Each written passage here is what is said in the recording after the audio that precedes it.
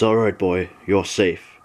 As these words escaped his mouth, the young boy's eyes rolled over red, and his scared frown flipped into a devilish grin, bearing two hypodermic fangs within. You're not. His head looks almost skull-like, with a large jaw and ghoulish, popped, bloodshot eyes. He lets a scream like a banshee loose across the battlefield as both sides stop and stare in awe.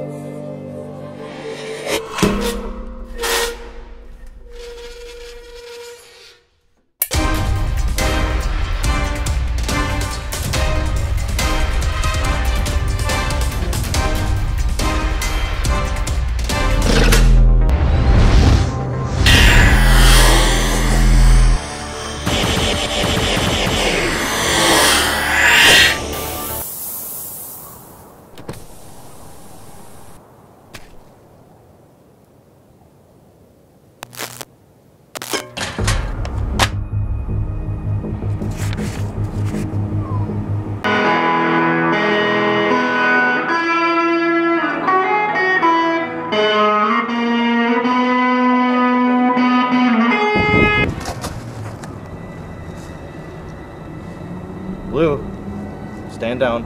Yes. Stand down. But when these letters to home arrived, the romance of war dwindled into a dark truth.